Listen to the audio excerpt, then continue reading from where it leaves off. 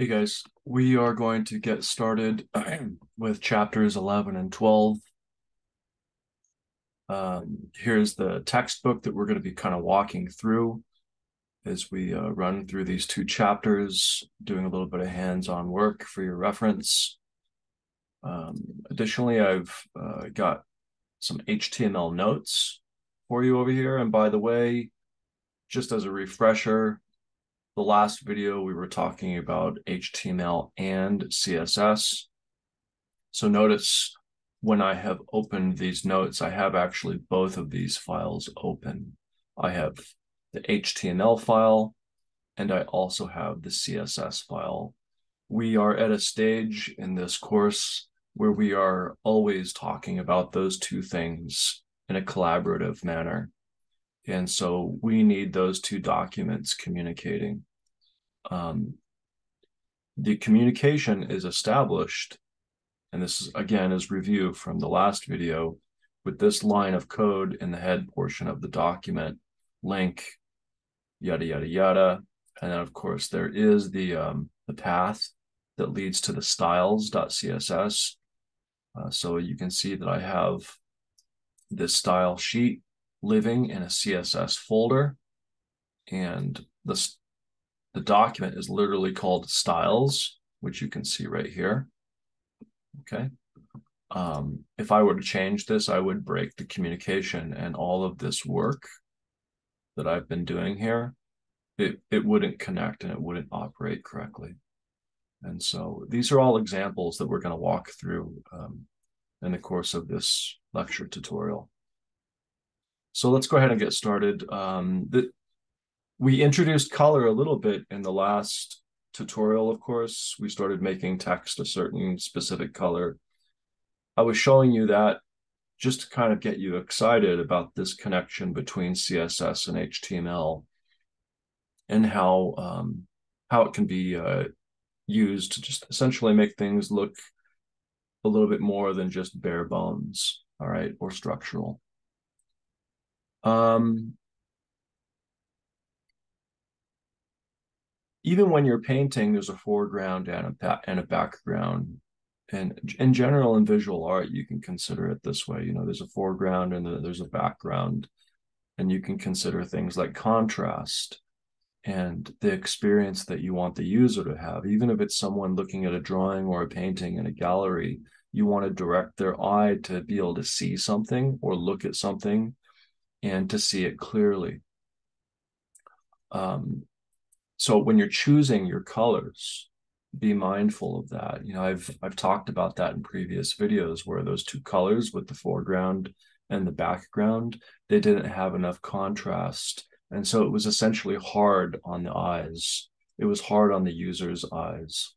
Um, so keep that in mind all right? User experience when you're choosing these colors um, we've already talked about here's the type selector that we uh, discussed in the previous lecture where we take a tag or a type and uh, we just simply give it a color.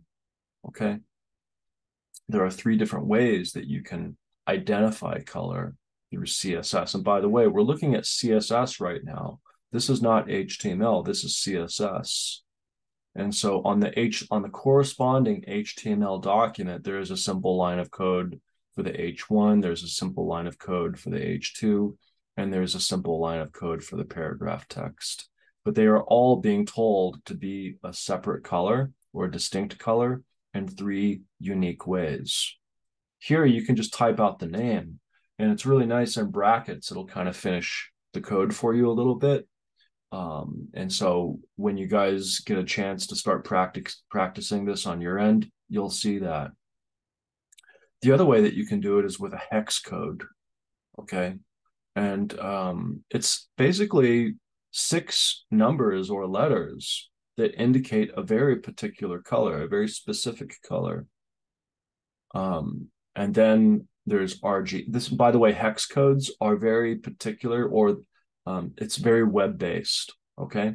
So it's a way to, to type in code with CSS to render again a specific color, but it's it's very um, web based. we can come down here and there's another way to render color um, on a screen. And of course, uh, computer screens, all the color on your computer screen is essentially ren rendered through the combination of red, green, and blue. And so these three corresponding numbers, red, green, and blue, are, are just simple ratios to um, to churn out those colors or that particular color. Okay. I wanted to show you guys something else really quickly. So um, this doesn't necessarily pertain to web design, but it does indeed pertain to uh, graphic design.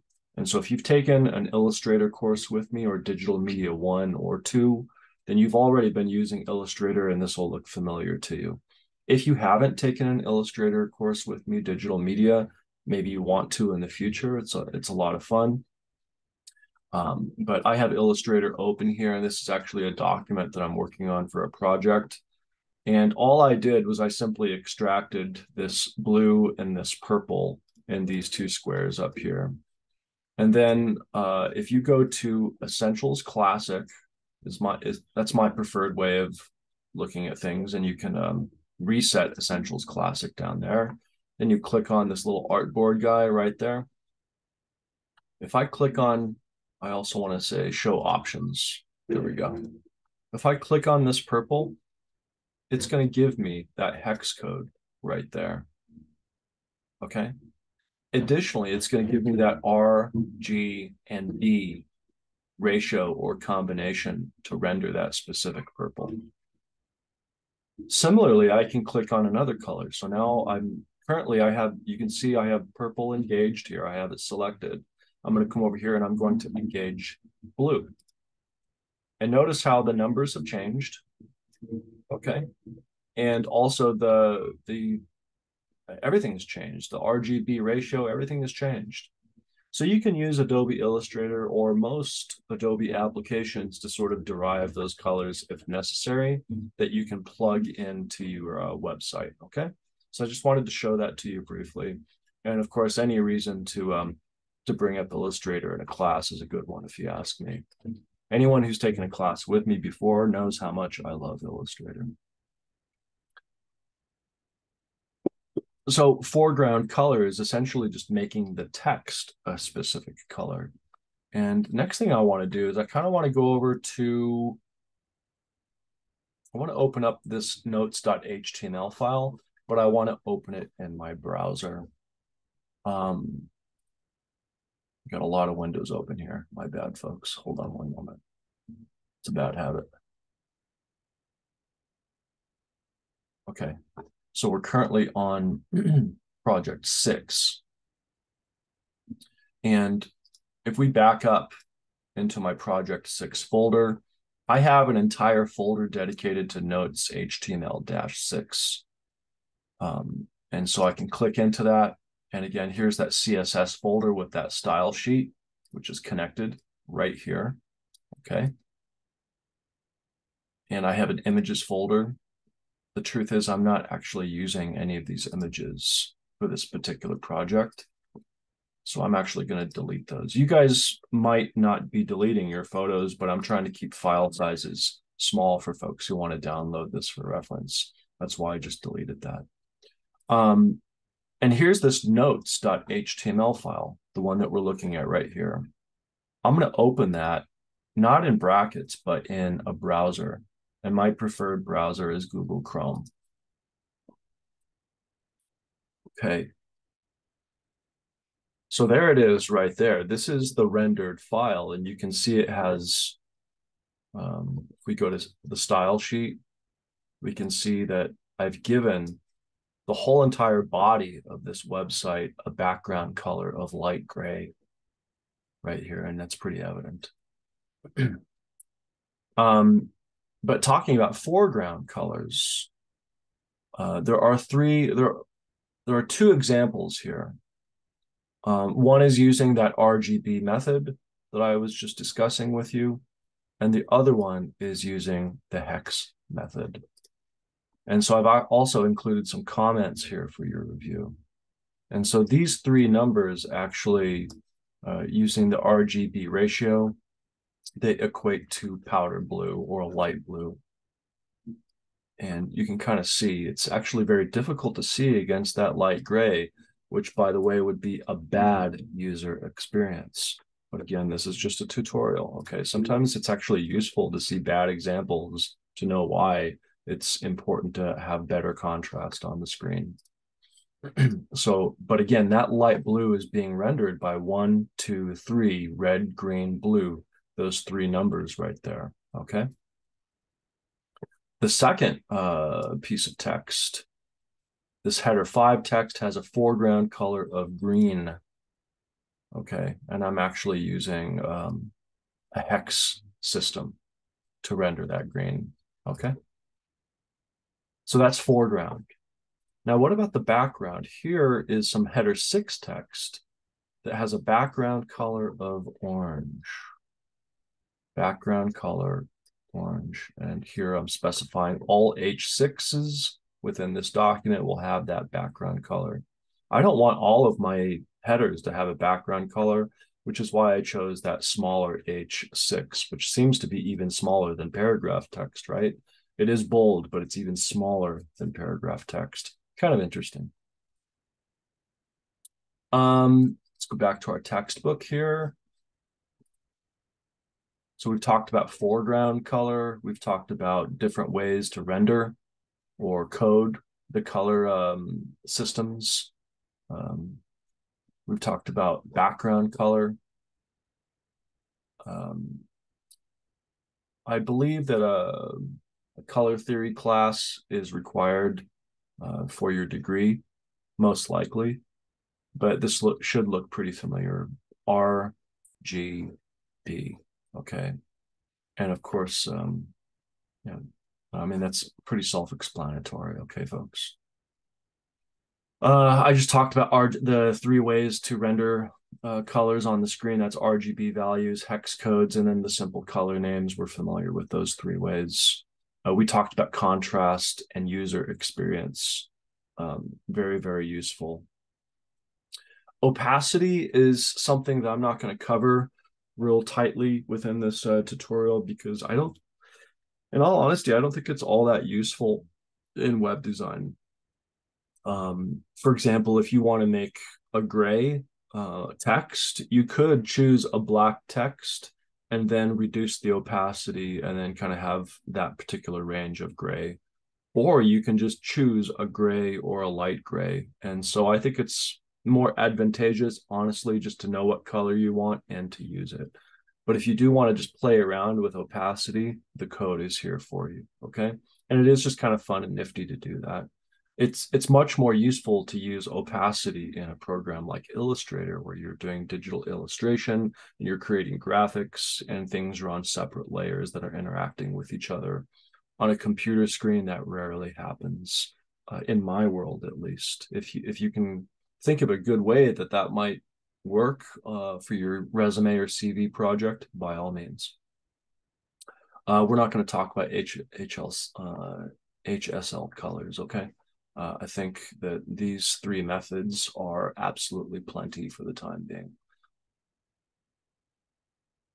Moving on, uh, that pretty much covers everything I want you to know in chapter 11. And it, it can really be summarized uh, again with these three uh, commands on the CSS file, which are directly talking to the H4, the H5, and the H6 lines of code that are currently on um, the H uh, the HTML file over here, and they're H4, H5, right there, and then the H6. Okay, so just kind of creating that um, that reference for you all. Um, moving on, the next chapter is all about text and doing essentially discovering some new techniques that might be useful as you're um, as you're making your CV or resume and I've really kind of gone through and I've gathered all the examples that I think are most relevant. I pulled them out for you and given you some code um, to review and look at and copy and paste and use. Uh, again, I support copy and pasting uh, in this class. That's uh, HTML is democratic. HTML and CSS is democratic and universal. You're not stepping on anyone's toes or doing anything wrong when you cut and paste code because it's standard practice. Okay, folks? There's no magical way to do this from your own unique perspective, um, which is sometimes kind of reassuring. Uh, the, the, real way that you can make uh, a web page unique is through your own decision making, like user experience decision making, and deciding what kind of content is going to work best to give folks a good web experience.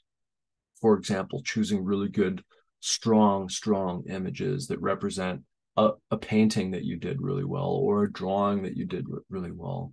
Um, in my drawing and uh, 2D classes, I talk about this a lot. You really have to ca- you have to do your best to capture or photograph those drawings and paintings in natural light so the color is accurate and so that everything is in focus. We're getting a little bit off base, but I mean, the truth is, a lot of folks are seriously considering making a portfolio website so that they can get shows at galleries or so that they can um, apply to graduate school after they get their BFA.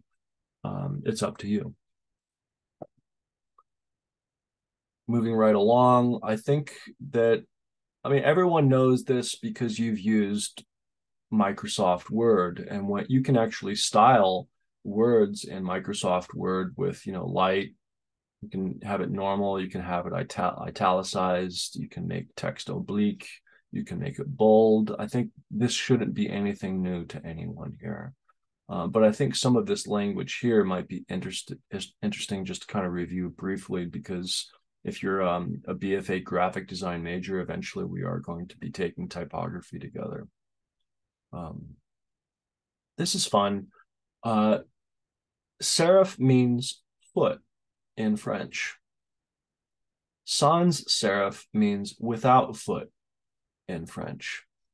And I'm going to zoom in a little bit actually so that you guys can see this really, really clearly. But notice how the text or the fonts, rather, on the left hand side, they're more fancy. They're more ornamental.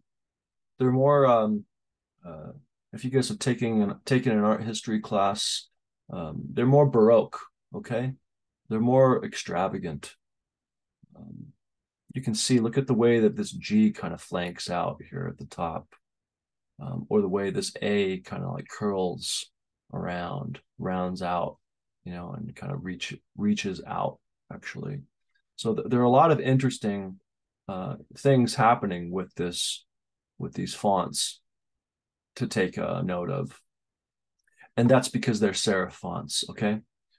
Um, on the right hand side are sans serif fonts, and essentially they're more modern, simplified.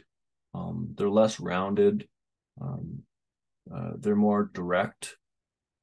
They're going to, the, important thing to take notice here is that these fonts are most likely going to, um, they're going to render more clearly on a computer screen.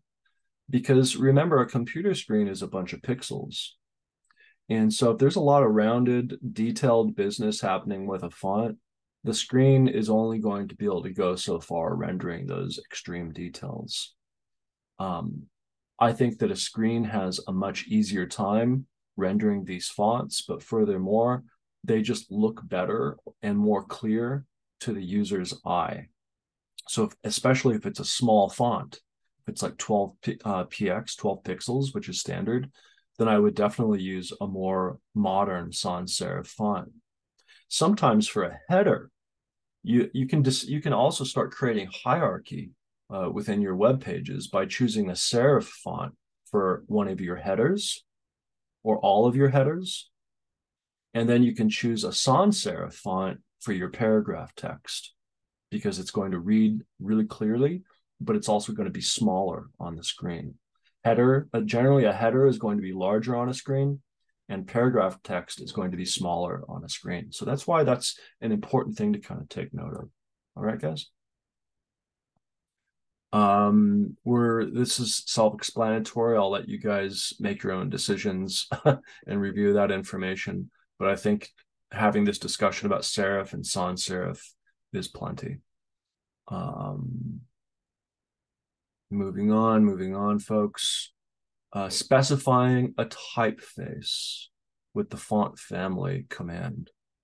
If we go over to my style sheet that I've, I've given and delivered to you, you're going to see that I've cast a broad command with the body tag up here. I, I've basically said any text within the body of this HTML document is going to be Arial. If Arial is not available, available, Helvetica. If Helvetica is not available, then any sans serif. And so that's me using this font family command, okay? And I'm doing it in the body portion of the document. Notice how I also um, gave the background color that light gray within the body portion of the document. Um, if we go back and look at that, you can see, yes, Arial is indeed being used. And I, I, discussed this in a previous video. Arial and Helvetica are very closely connected.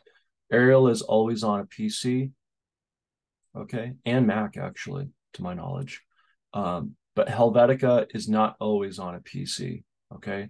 And that's why I'm starting with Arial because you have to consider the user. I mean, uh, not everyone has a Mac like me. In fact, a lot of the folks that are taking this class or or reviewing these videos, you may not have a Mac.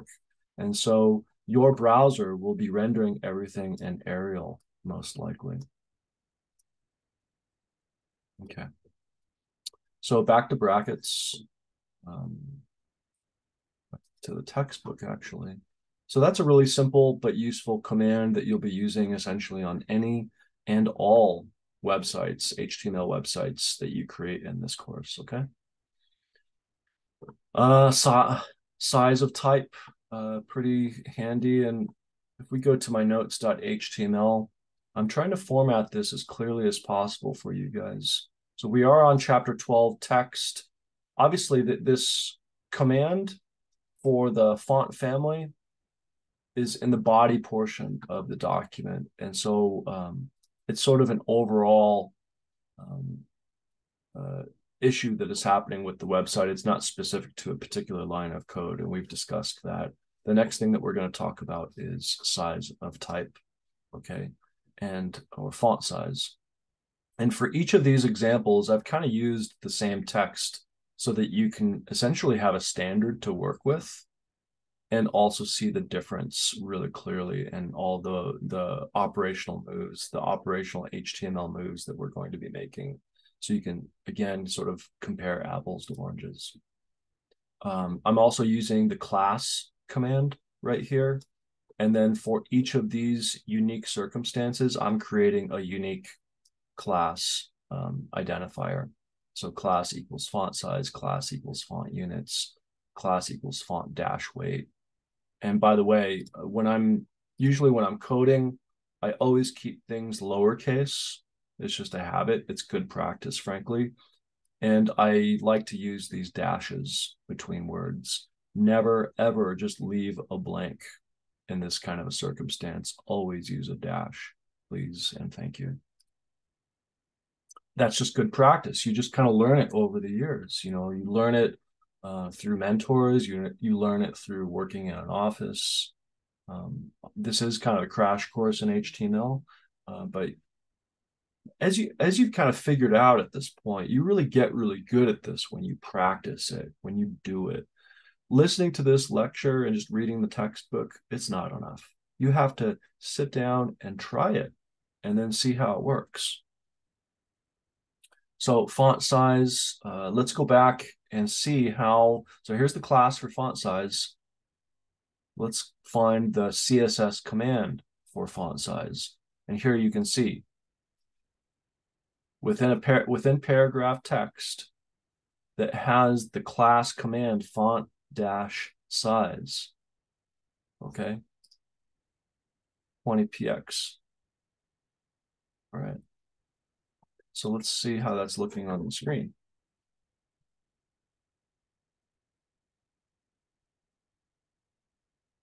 This is some example text right there.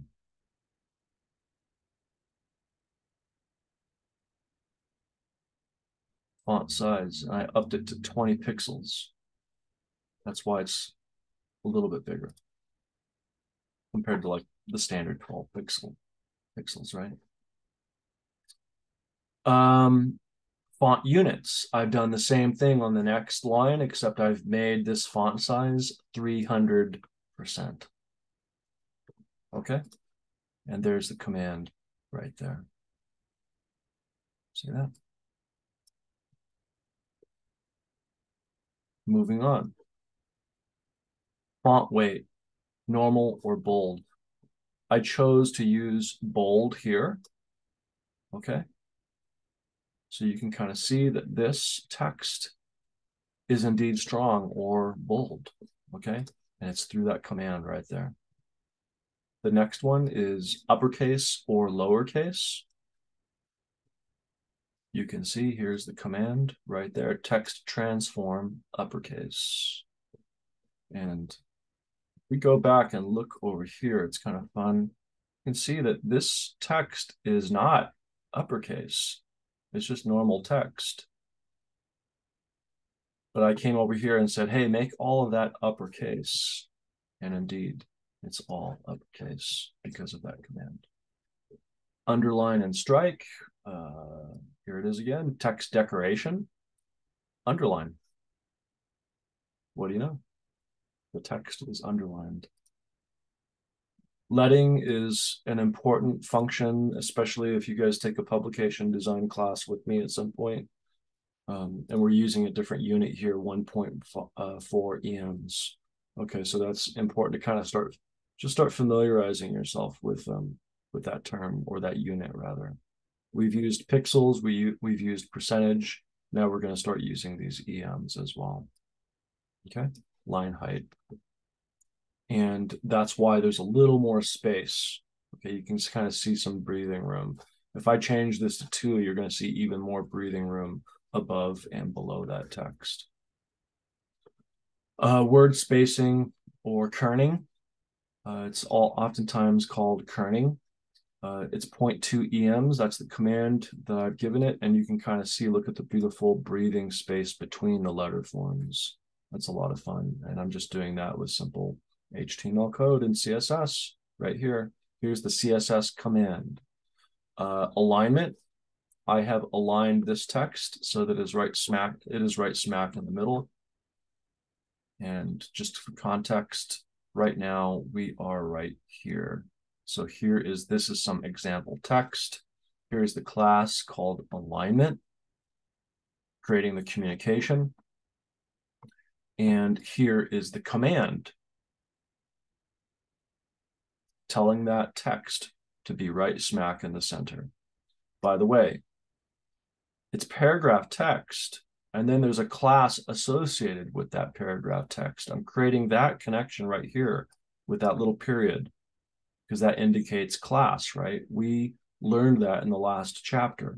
So dot and then alignment. That that communication is happening because of that word being there. If we go to notes, alignment is right here.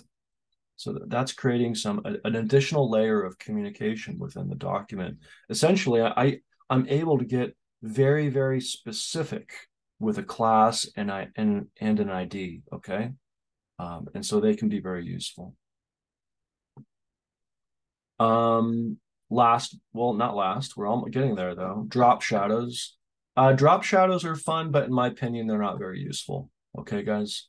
And so it does require just a little bit more code too. This is all of that drop shadow information. And you can play with the background color, the foreground color, and then the ac actual text shadow. And you can choose colors for all that business here. Um, but in my opinion, it just muddies the water. I it depends on what kind of a designer you are or how you want your um, your content to read. But um, in my opinion, it's it's not all that useful. But I this is we're just kind of practicing in this class and having fun. And so I don't want you guys to shy away from trying a drop shadow just because I'm saying that, because we're just having fun in this class. But I do want you guys to start to develop um, some some sort of sense of um, uh, design identity. You know, you know, how do you want your design to uh, to appear on the screen or uh, on the page or or in general? Uh, you're developing your personal design voice, uh, even if you're a beginner. Last thing I wanted to show you guys, it's a lot of fun. You can uh, style links that are uh, so that it's responsive to uh, the user experience. And so all of these different lines of code, here's the actual link itself, giving it a color. Um, if a user has visited this page, it's going to be a particular color. If a user wants to just hover over the link with their cursor, it's going to turn a certain color. Uh, all this stuff, okay? So let's give it a shot. Let's come over here. So if I take my cursor and I put it over this link, it's going to turn green. Okay. And I open this in a new page. And I think it should, in theory, kind of change because you've already visited or clicked on that link. It should turn a different color. I should have made it, um, I think hot pink and deep pink is a little bit too close. And so that's not a great user experience. Um, so yeah, those are a little bit too close together. That's a darker pink. That's a lighter pink, but I think they're still a little bit too similar. Uh, but again, those are just things that you need to consider when you're when you have user experience on your mind. You know, anyone can code, guys. This is as you found out, this is all really easy, but it takes a really um, it takes an individual with an incredible design sense to make these nuanced decisions about color, okay, and how you want things to look, and also to sort of put yourself in the user's shoes and think, is this working? Are these colors working? Is this text legible? All of those questions, you know, you need to start kind of processing those as you work. Um, that's really it for this lecture. I know that um, I, I think everyone has been making fantastic progress. Um, and I'm really kind of looking forward to, to seeing how everyone experiments with color uh, and and how far folks can take it to just simply have a lot of fun. Design isn't always all serious. Sometimes it's just fun, and we're just learning here. Um, so yeah, thank you, everyone.